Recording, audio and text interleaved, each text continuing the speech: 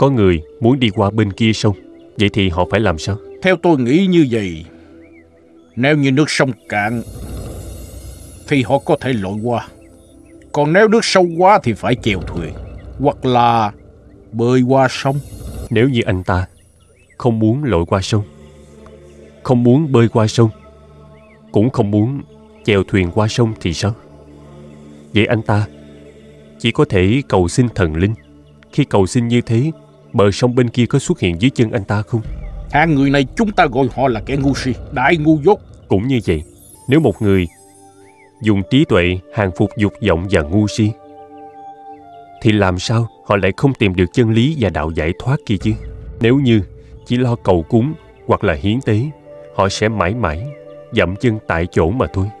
Họ không thể bước ra khỏi vạch xuất phát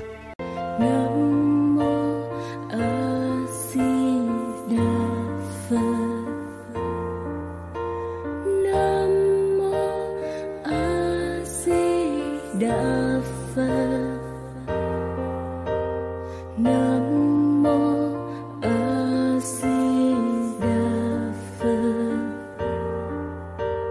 Nam mô A